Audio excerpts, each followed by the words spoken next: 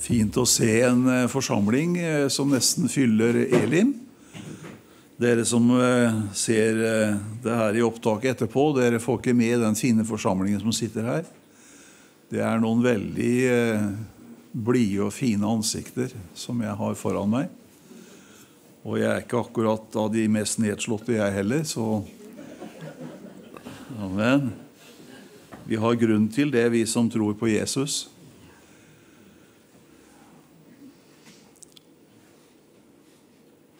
Jeg har som en overskrift over det Herren har gitt meg i kveld daglig beskyttelse og seier. Daglig beskyttelse og seier. Og Vi skal gå til et av de eh, sterke brevene i Det nye testamentet. Det er forresten bare sterke.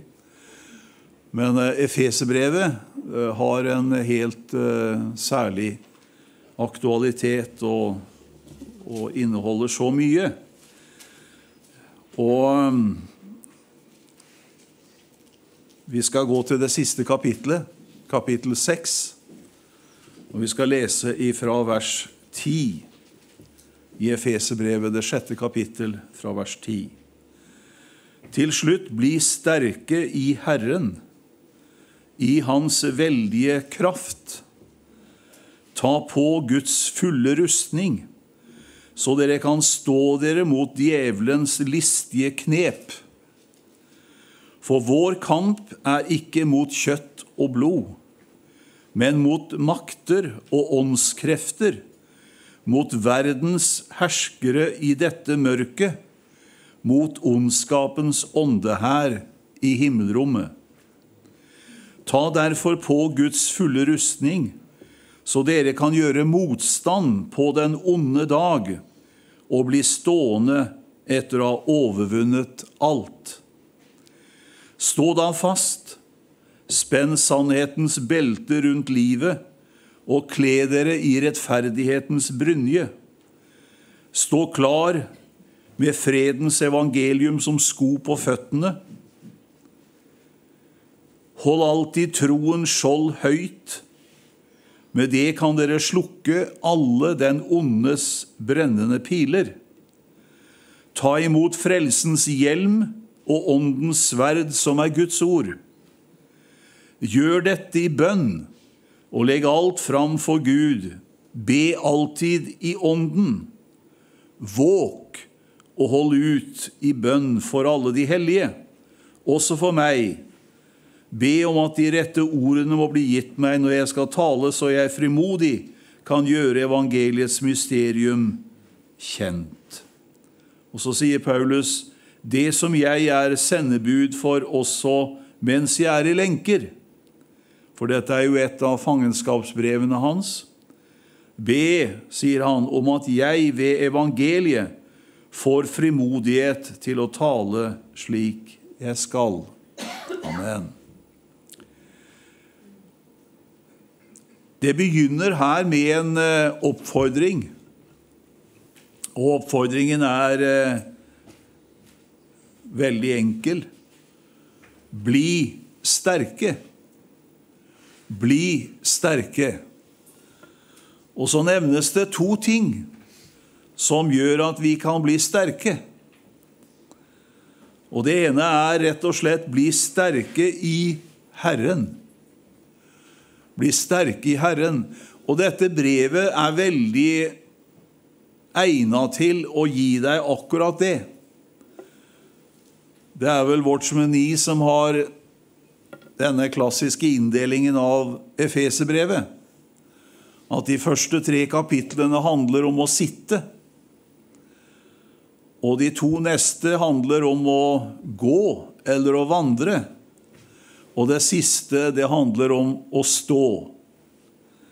Og det er ikke likegyldig her hvor man begynner. For det er ikke sånn at eh, det viktigste man kan gi en som er ny på veien, det er å føre han inn i det med åndelig krigføring.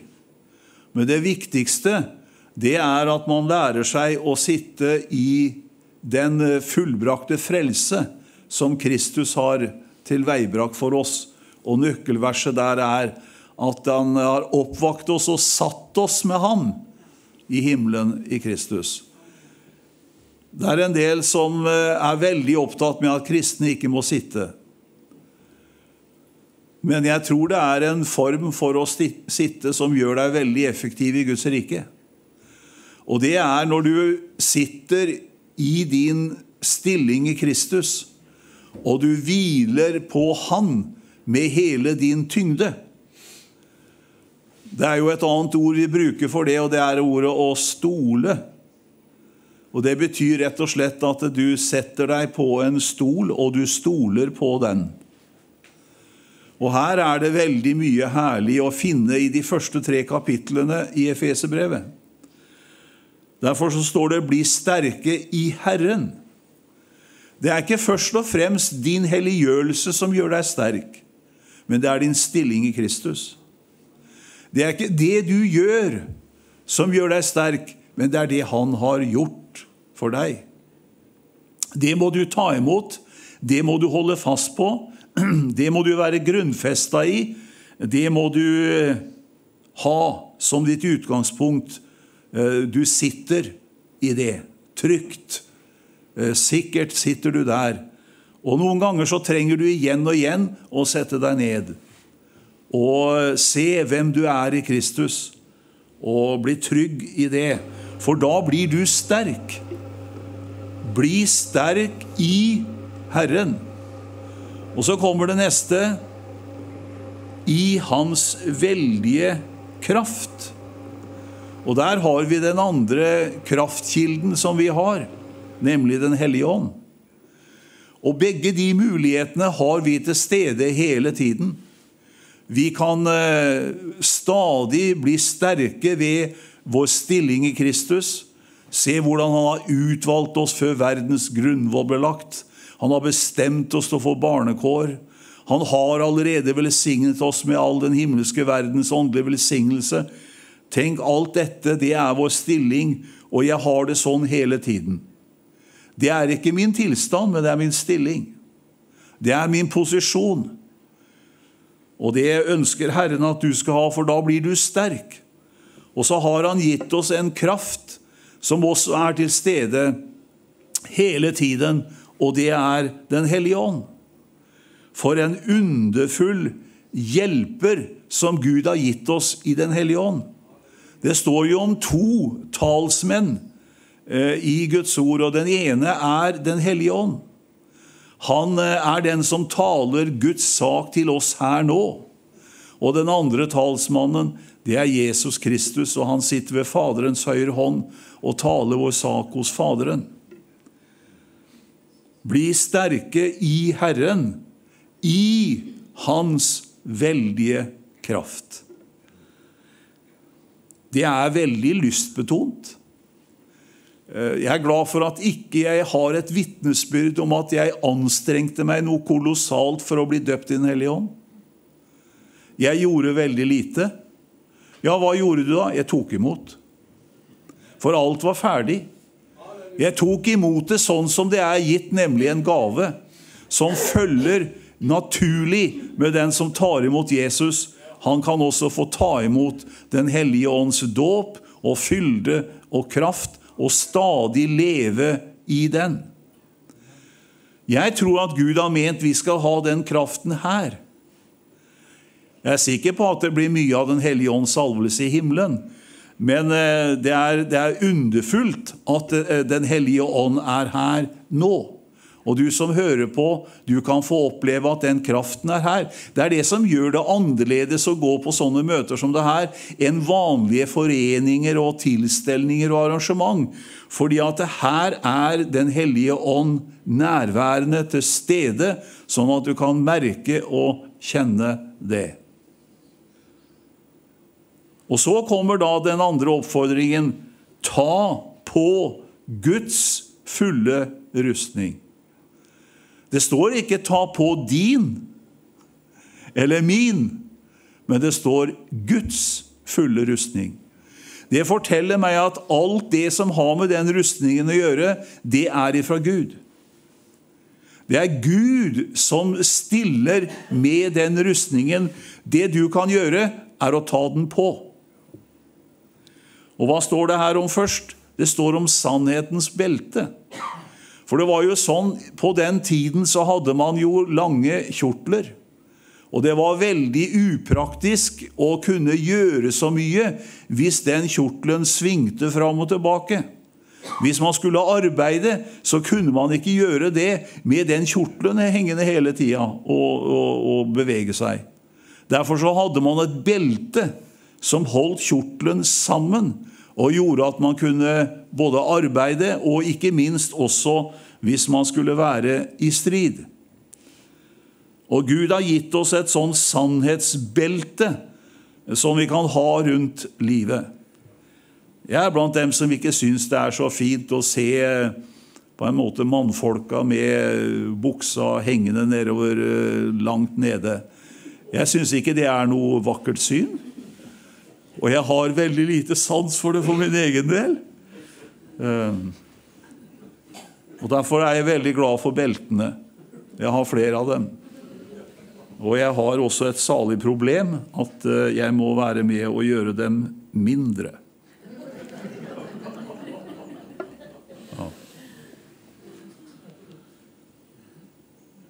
Den andre delen den er meget viktig, for den kalles for rettferdighetens brynje. Og Her er det snakk om noen som virkelig skulle ut i en strid hvor det var kraftige våpen de møtte. Det var spyd som kom imot dem. Det var piler som ble skutt imot dem. Eh, og eh, det var sverd som ble brukt imot dem. Og Derfor så hadde man en brynje som beskytta eh, de vitale deler av kroppen. Og hva er den brynjen som det er tale om, nemlig rettferdighetens brynje? Og det er den rettferdighet som vi har i Kristus. Det er den som vi har fått ved troen på Han. Han er blitt vår rettferdighet. Eh, det er i Han jeg kan være helt trygg og sikker på at ingenting av det som fienden retter imot meg, vil kunne trenge gjennom og skade verken mitt hjerte eller mine lunger eller noen andre organer, for jeg har rettferdighetens brynje på meg. Og Så står det om et veldig interessant eh, skopar Eh, det er veldig godt og viktig å være skodd når man skal ut i strid. Det er, det er viktig hele tiden. Jeg, jeg, har sett noen spesielle, noen som går barbeint hele året. Det er blitt den siste moten. det. Noen går til og med barbeint om vinteren. Og De har det sikkert veldig bra, men det er veldig upraktisk. Du er veldig sårbar, og det er eh, begrensninger på det. Derfor er det viktig å ha de rette sko og ha noen sko som passer. Og legg merke til den flotte betegnelsen eh, som vi er skodd med, nemlig fredens evangelium. Derfor tales det om at eh, deres føtter er fagre som kommer med godt budskap. Og det har ikke minst med skotøyet å gjøre. Så fredens evangelium, det er det vi er skodd med. Det er det som liksom vi har og, og går rundt på og med. Det er fredens evangelium. Og så er det et veldig viktig redskap, og det er det som kalles for troens skjold. Skjoldet må være der. Og her står det om troens skjold, og så står det en ting om det, at det må alltid holdes høyt. Du vet, en, en, Dette er jo et bilde av en romersk soldat i full rustning. Det er den rustningen som er eh, brukt her. Og du vet en soldat som har skjoldet vendt ned, eller bare står til sida, han er like sårbar. Men løft troens skjold høyt, står det. Og hva er det da som skjer? Med det kan man slukke alle den ondes brennende piler. Forteller meg at djevelen har et spesielt våpen som han bruker, og det er brennende piler. Det er ikke noe særlig å bli truffet av dem, men du har fått i rustningen et skjold, og det er troens skjold. som du kan løfte høyt, og med det slukke alle den ondes brennende piler. Og de skjoldene, vet du, vi tror jo kanskje det at de var som sånne eh, store blekklokk. Eh, Men eh, du skjønner, de var ikke det. Det var egentlig skinn og lær som de skjoldene var, og de skulle smøres. Og på den måten så var det sånn at når pilene kom, så satte de seg fast der. Og hvis de hadde da brennbar væske på, så slokna den.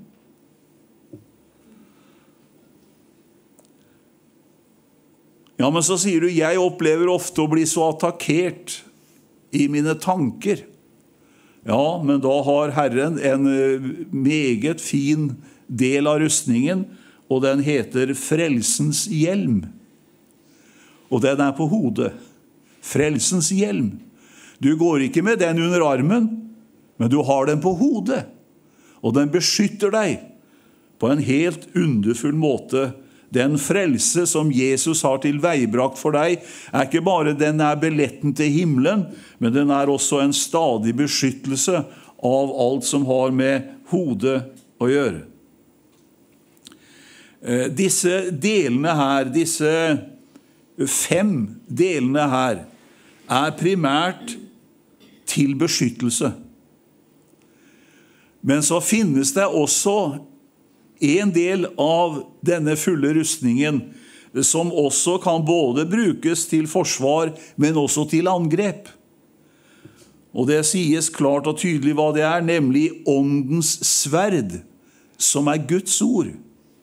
Og jeg elsker uttrykket åndens sverd. Det er ikke mitt sverd. Eh, jeg er glad for å kunne si jeg har min bibel, men den er ikke min, den er Guds. Den er gitt til meg. Og Den hellige ånd bruker Guds ord som et sverd for den troende. Du må ha det i hånden, og du må bruke det. Du må gjøre deg bruk av det, og du skal få erfare det er et tveget sverd. Det trenger igjennom. Det er ingenting som kan erstatte det. Det var det sverdet Jesus brukte da djevelen anfektet han og prøvde å friste han og, og, og få han til å svikte sitt oppdrag i ørkenen. Det står skrevet. Det står atter skrevet. Tenk at han kunne sagt som så Du kommer til meg, men jeg er Guds sønn. Men han svarte han med Guds ord. Han parerte alle angrepene med ordet. Og det er vi også fått. Lovet være Herren for det. Både til forsvar og til angrep kan du bruke ordets sverd, som er Guds ord. Og så står det at det som er med og gjør at rustningen fungerer, det står her i vers 18. For der står det nemlig Gjør dette i bønn. Gjør dette i bønn. Ta rustningen i bruk i bønn. Da vil du oppleve at sannhetens belte slutter om livet, rettferdighetens brynje er intakt, eh, fredens evangelium er skodd, skoene passer utmerket for deg, og du har troens skjold som du kan løfte høyt og slukke den alle, alle den ondes brennende piler med, og du har frelsens hjelm på hodet, og du har åndens sverd i hånden, og du er så rustet som det går an å bli. Vet du at djevelen har ikke noe av det her? Den som ikke er frelst, har ikke en eneste del av det her. Det er den frelstes rustning. Og det er Guds fulle rustning som han gir til alle sine barn. Og om du da skal oppleve at denne fungerer, så må du også være der i bønn til Han. For det står her Gjør dette i bønn, og legg alt fram for Gud. Be alltid i Ånden. Våk og be, hold ut i bønn for alle de hellige. Og Paulus sier, be også for meg. For det er en underfull del av det her som bevarer og beskytter den troende. Det er ikke bare at vi ber for at Gud skal gi oss ting.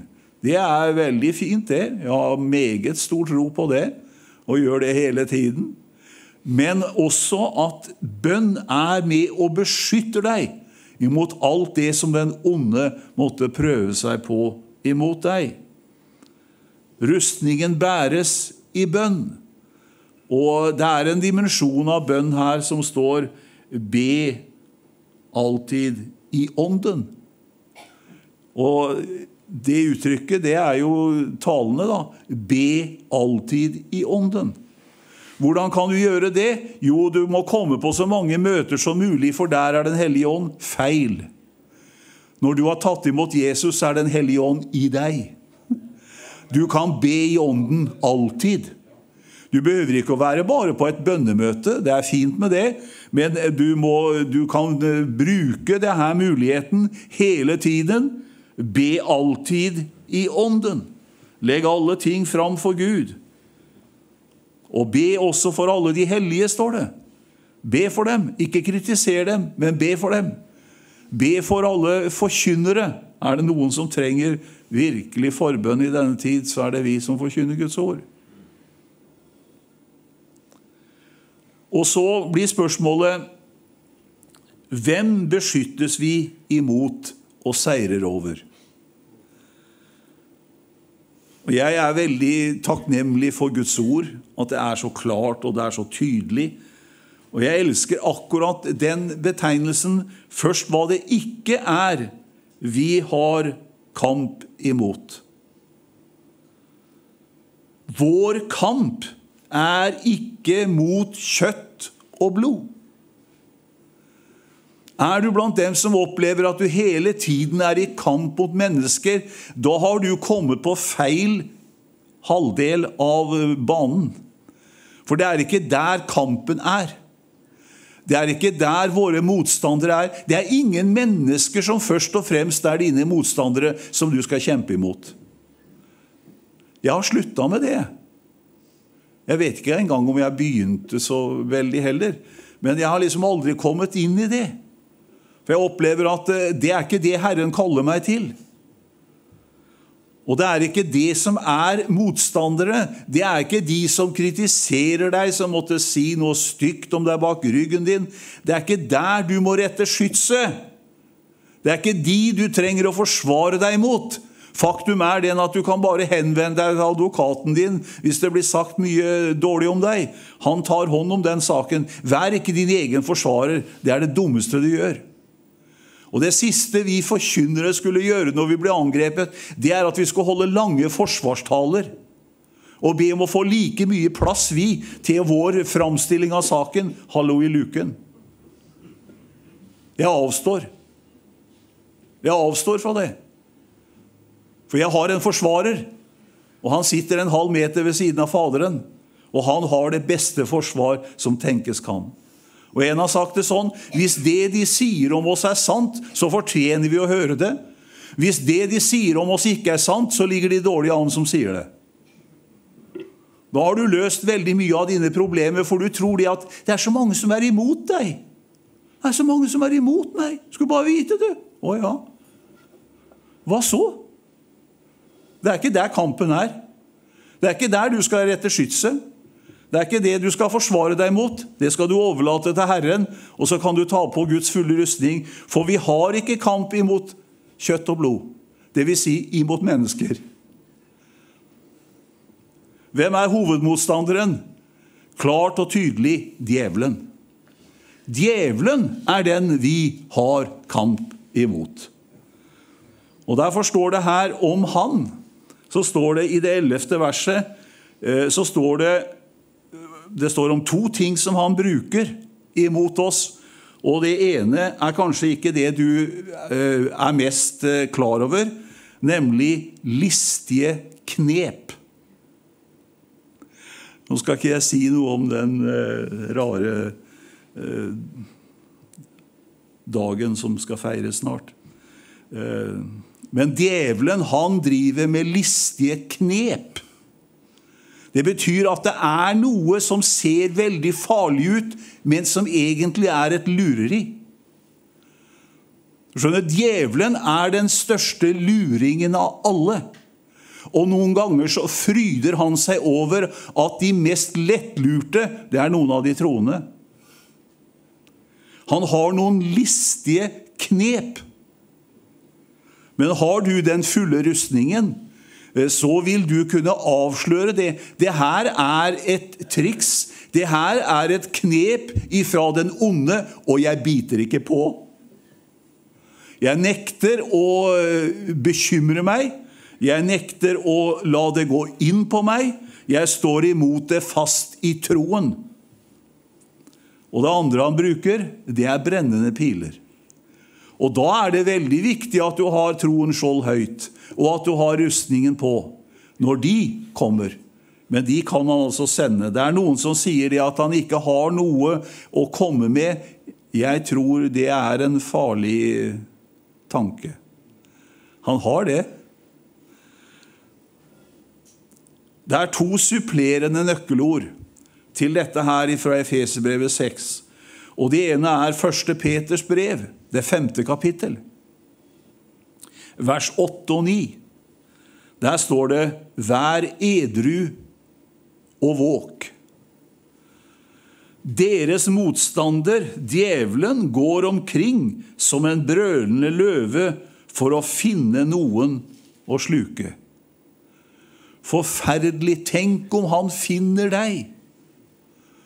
Tenk om han finner meg. Hva skjer da? Det som skjer da, vet du hva det er? Hvis jeg merker at han begynner å komme for nær og er ute på et eller annet, og jeg hører liksom på en måte hvordan han brøler, hva gjør jeg da? Da følger jeg oppfordringen som Peter har gitt oss. Stå ham imot! faste i troen. Stå ham imot. Du bøyer deg ikke for det. Du begynner ikke å forhandle med ham, men du står ham imot.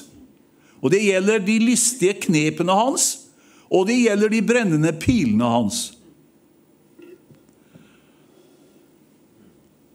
Og Paulus, Peter han legger til i slutten av det eh, avsnittet så sier han alle troende i verden er hans angrepsmål. Du er ikke alene. Det er faktisk det at djevelen av og til viser deg litt oppmerksomhet, det skal du ta som et kompliment. Det betyr at han ser på deg som en trussel. Han ser på deg som en farlig person som må elimineres.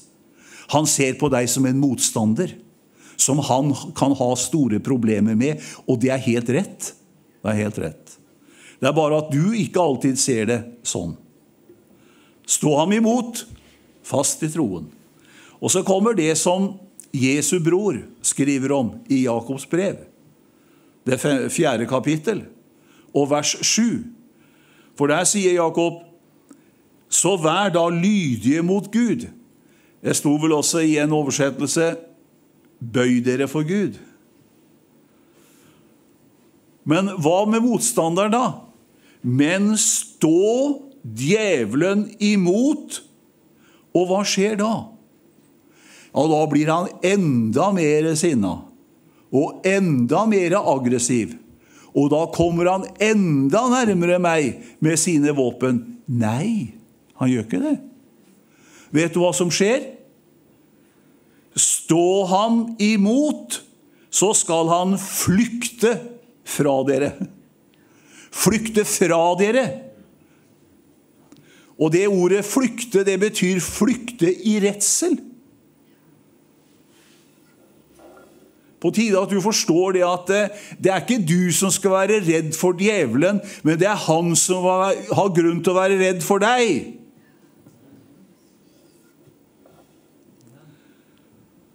Og så er det det at djevelen han har da en alliert firerbande. Den er også nevnt her i Efeserbrevet 6.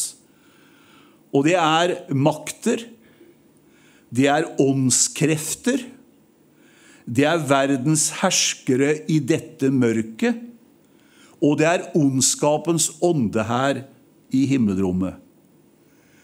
Jeg har ikke så lyst til å høre om det, sier du. Jeg, jeg, jeg vil ikke være opptatt med det. det er noen som sier at vi predikanter vi må ikke snakke om djevelen. Han er veldig opptatt med at ikke vi skal det. Han ønsker ikke å få satt lyset på seg. Han ønsker ikke å bli avslørt. Og det gjelder også denne firebanden som han har med seg. Makter, åndskrefter, verdens herskere i dette mørket. Du skjønner, det er ikke enkeltpersoner og eventuelle statsledere som er det store problemet i verden i dag, men det er de kreftene som er bak. Det er der det virkelig må sette skytset inn. Amen.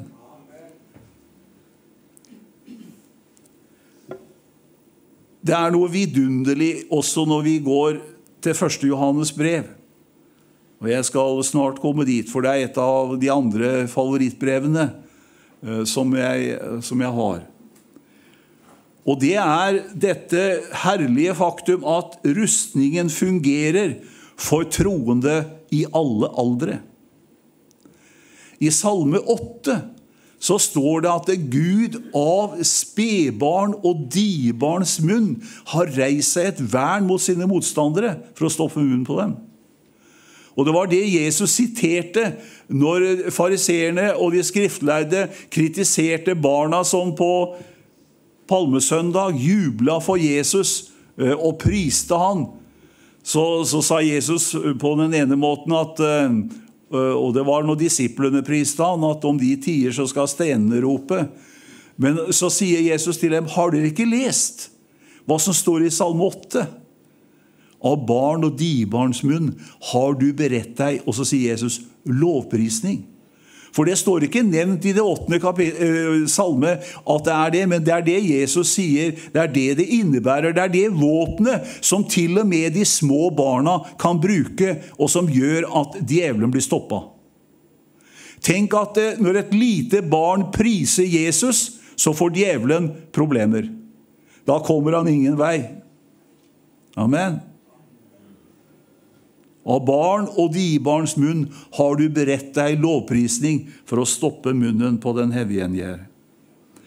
Og i 1. Johannes brev, som jo da er et nøkkelbrev i dette, så skriver Johannes til flere kategorier. Han, kaller, han skriver til 'dere mine barn'. Og så skriver han til 'dere unge'. Og så skriver han også til fedre. Det er viktig at du ser det når du leser 1. Johannes brev. Så ser du at her er det spesielle ord til alle Guds barn, og kanskje også til de som er eh, barn i alder. Og så er det et ord til de unge, og så er det et ord til fedre.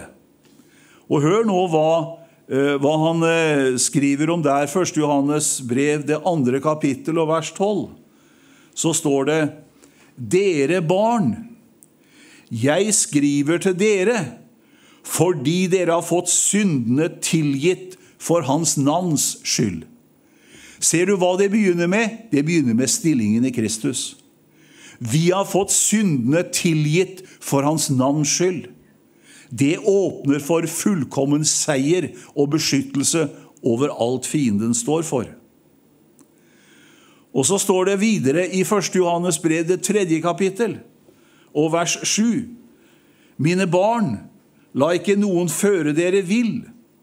Den som gjør synd, er av djevelen, for djevelen har syndet fra begynnelsen av. Og det var for å gjøre ende på djevelens gjerninger at Guds sønn åpenbarte seg. Og så sier Johannes videre.: Den som er født av Gud, gjør ikke synd. For Gud, for det Gud har sådd, blir i ham. Han kan ikke synde, for han er født av Gud. Hva betyr det? Betyr det at den som er frelst, aldri kan synde? Nei, det betyr det ikke. Men det betyr at den som er frelst, ikke kan leve i synd. Og det er ikke så veldig vanskelig og komplisert, for det er bare å følge oppskriften til Johannes i det første kapittel. Og i det syvende verset, hvor det står hvis vi vandrer i lyset, liksom Han, Kristus er i lyset, har vi samfunn med hverandre, og Hans blod renser oss fra all synd. Og så gjør vi det som står i det niende verset. Eh, dersom vi bekjenner våre synder, er Han trofast og rettferdig, så Han tilgir oss syndene og renser oss for all urett. Det er noe jeg lever i hele tiden. Det er noen som sier de er ferdig med det. Jeg er ikke det. For Johannes skriver ikke det til ufrelste. Men han skriver det til frelste. Han sier 'vi', sier han. Vi. Og da saler han om de frelste. Og Jeg takker Gud for det måltidet vi har hatt her nå i begynnelsen, som ikke dere fikk være med på som ser sendingen, men vi har hatt nattvær. Og Der har vi Jesu blod, og der har vi Jesu legeme. Og det tar vi til oss, fordi der har vi den oppskriften til å leve i renhet. Du, du, er ikke sånn at du mister frelsen når du synder, men du går bare til Han som er en soning for all verdens synd. Du går til talsmannen din Jesus, og han fører den saken. For han er en soning for dine synder og mine synder og all verdens synd. Og da er saken ute av verden. Og da kan ikke anklageren komme med noe som helst, fordi at eh, han blir henvist til det blod som rant på Golgata. Jesus er født av Gud og seiret over djevelen. Og faktisk så står det at på samme måte så vil den som tar imot Jesus, bli født av Gud og seire over djevelen og seire over synden. Og det står i 1. Johannes brev 4, vers 4. Mine, men dere, mine barn, er av Gud og har seiret over dem. Og hva er det som nevnes der i 1. Johannes brev 4? Jo, det nevnes om antikristens ånd. Og den ånd har vært virksom, og det er mange antikrister, sier Johannes, som har kommet. Og antikristens ånd er virksom i dag. Jeg tror ikke at jeg skal få møte han og se han, eh, for da er jeg i himmelen. Men eh, hans ånd er virksom. Og det er sånn at den som kommer inn under den kategorien i verden, det er de som fornekter at Jesus er Kristus, at han er Guds sønn. Alle som gjør det, er egentlig inspirert av den antikristelige ånd, for han er imot Kristus. Han, er, han, han, kan egentlig akseptere at vi på en måte har en viss gud, enten man kaller den ene eller den andre. Jeg tror ikke djevelen er så veldig bekymra for religioner. Men han er veldig bekymra for de som tror på Jesus som Guds sønn og bekjenner han. De er han helt imot og vi er helt imot han. Hva er det som skjer da når du konfronteres med denne antikristens ånd? Når den kommer i mange forskjellige utgaver? Jo, der står det 'Han som er i dere, er større enn han som er i verden'. Det er en annen ånd som er i den som tror, Den hellige ånd. Og Den hellige ånd er mye større enn alle de antikristelige åndskrefter. Derfor står det dere, mine barn, er av Gud og har seiret over dem. For han som er i dere, er større enn han som er i verden. Og det gjentas i det femte kapittelet i 1. Johannes brev og vers 4.: For alt som er født av Gud, seirer over verden. Og det som har seiret over verden, er vår tro.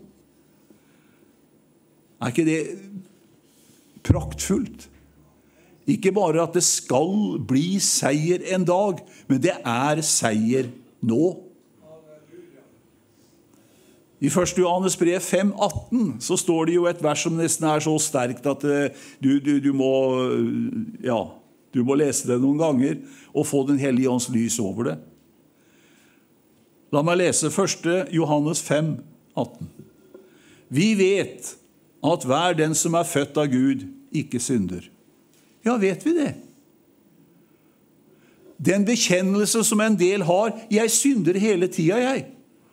Jeg er veldig begeistra på Guds vegne for å si 'Det gjelder ikke meg'.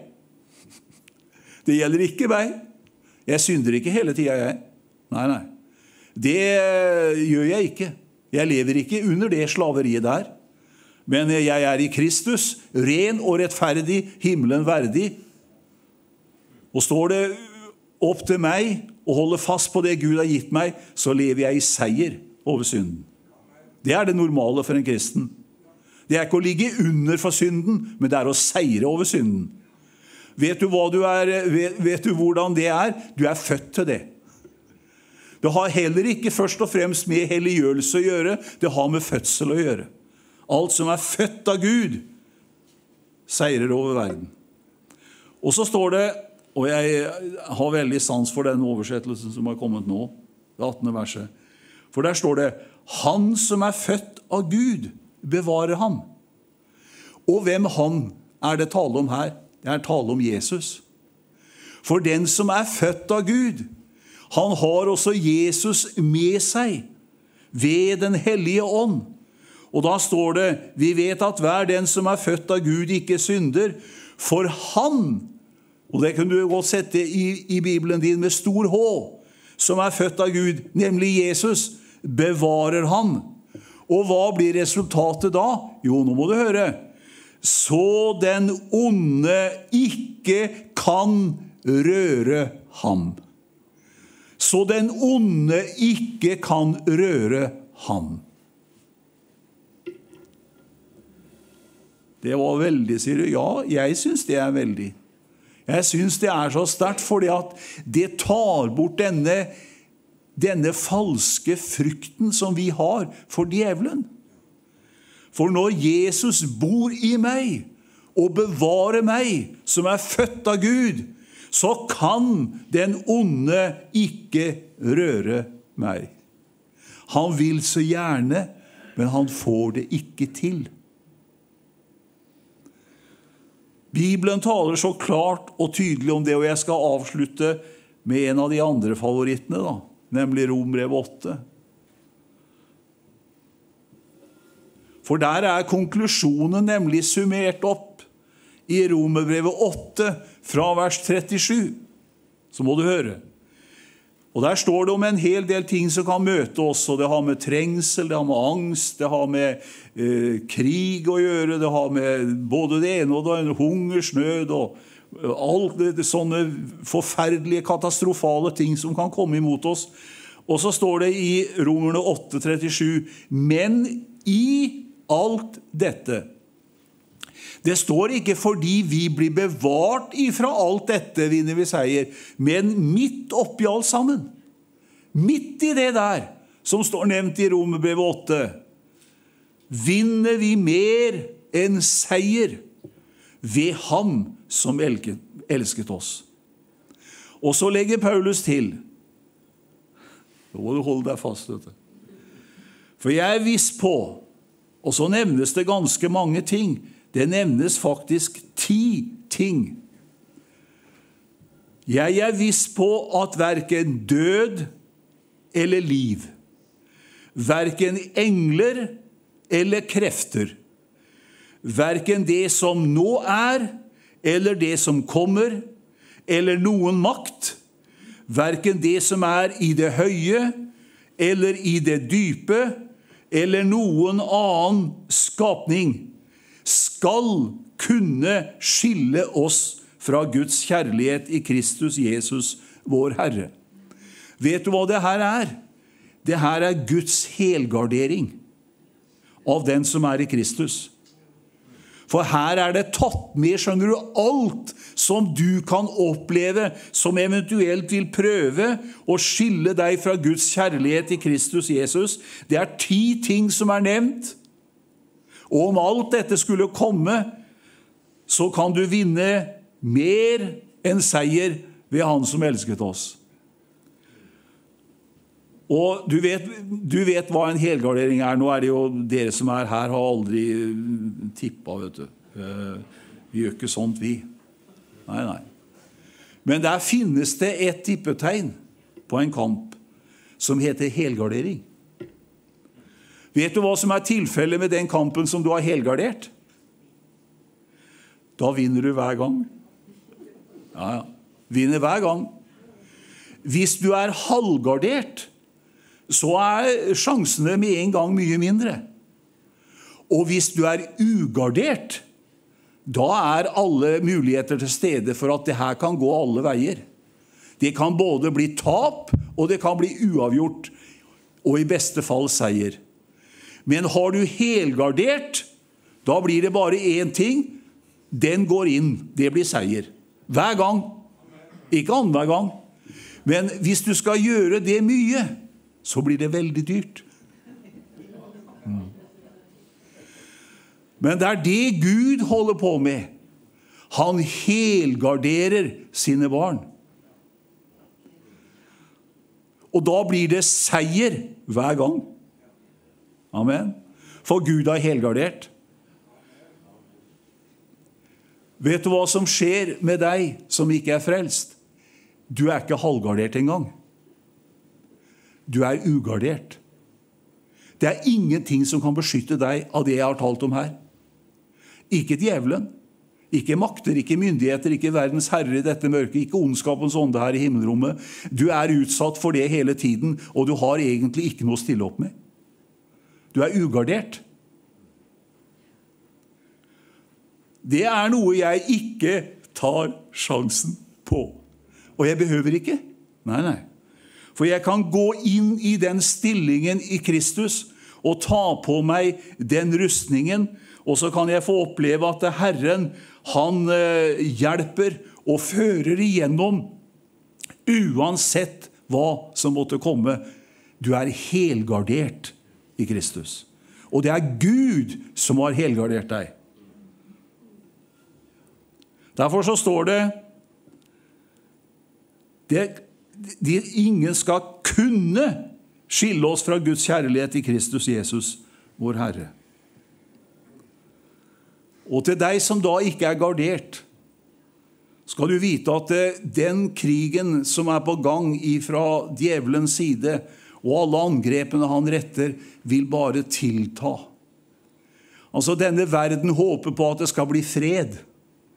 Man håper på kanskje at De forente nasjoner skal skape fred i verden. Eller at de som i dag er veldig aggressive og ypper til krig, at de skal på en eller annen måte bli satt til side. Du kan gjerne håpe og håpe, men det er ikke noen særlige fredsutsikter for denne verden.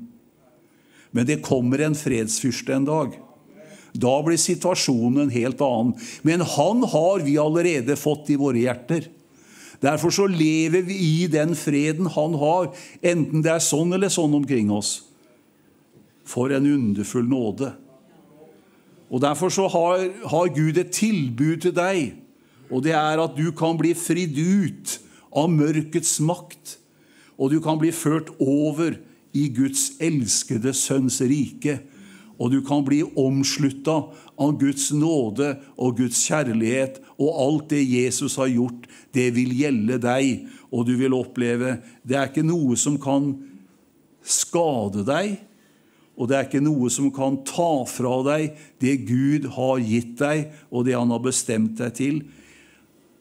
Han kan ikke ta fra meg billetten til himmelen, som er Jesu blod. Og jeg har ikke tenkt å gi den fra meg. Den har kosta altfor mye. Jeg har ikke betalt noe for den, men Jesus han har betalt med sitt eget dyre blod, og jeg fikk ta imot det. Og jeg har den billetten. Halleluja. Jeg er på vei til himmelen. Jeg er ikke på vei til fortapelsen, og jeg er ikke på vei inn i den store trengsel, men jeg er på vei til den dagen Jesus kommer for å hente menigheten. Daglig beskyttelse og seier. Amen. Herre, jeg takker deg, priser deg for ditt ord. Takk for at vi kan se på realitetene, og vi ser jo hvordan denne verdens fyrste raser. Og vi vet om de listige knepene hans. Og vi vet også hvordan noen er midt i regnet av hans brennende piler. Derfor så takker jeg deg for vi kan bli sterke i deg. I din fullbrakte frelse Gjemt i Guds frelse jeg står, ren som en lilje i vår. Og jeg takker deg for din fulle rustning. Priser deg for den. Takk for den er tilgjengelig for oss alle sammen. Vi behøver ikke å betale for den. Alt er betalt. Det er Guds fulle rustning stilt til vår rådighet og jeg ærer og priser deg. Du vet det er noen som hører dette budskapet, som akkurat nå kjenner at de er inne i en veldig fase med angrep fra den onde på mange områder. Men jeg takker og priser deg for at blodets beskyttelse skal komme over dem, og ditt ord skal bli levende for dem. Og de skal ikke bøye seg for det, men de skal stå fienden imot fast i troen, og så skal han flykte ifra dem. Flykte ifra dem i redsel. Ære være ditt navn. La det skje i kveld. La det skje når dette går på lufta. La det bli mange til del. Ærer deg, priser deg for det i Jesu navn. Amen.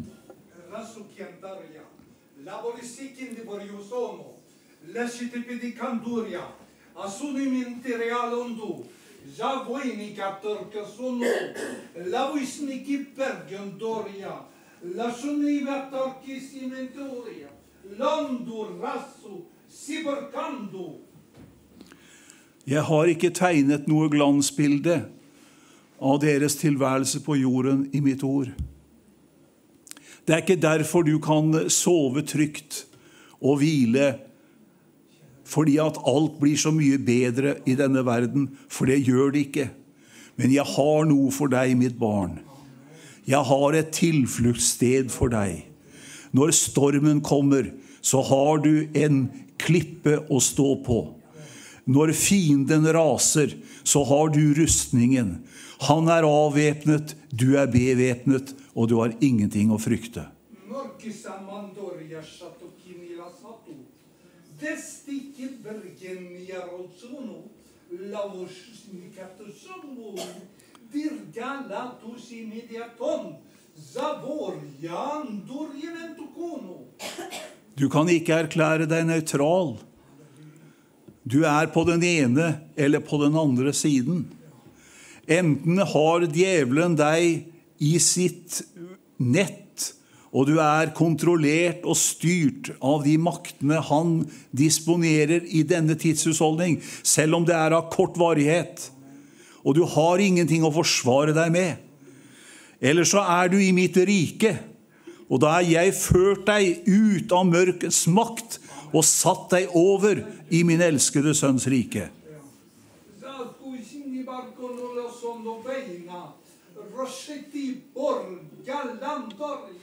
landoria. I virgine minusu. Laton, laton, Jesu navn. Amen. Du har opplevet, sier Gud, å ikke bare være borger av et godt land her, men du er også borger av mitt rike. Du er det allerede nå. Og snart så kommer dagen da jeg vil flytte min menighet fra denne jord og hjem til mitt evige rike. Det er ingen som kan hindre meg i det. Min plan, den står fast. Så vær ikke urolig om bølgene bruser og stormene raser. Vær ikke urolig om antikristens ånd viser seg på stadig flere områder. Men vær blant dem som ikke kjemper imot mennesker, men som ber til meg, den levende Gud, og som skal få oppleve at jeg skal bevare deg ifra alt ondt. På den onde dag kan du være i min hytte, og du kan være så trygg helt til jeg henter deg hjem til min evige herlighet, sier Herren. Amen.